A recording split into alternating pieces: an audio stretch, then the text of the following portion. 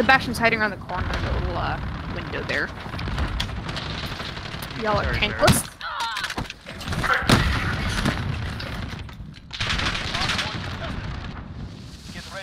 The fair just ult the Bastion. Yes, fuck.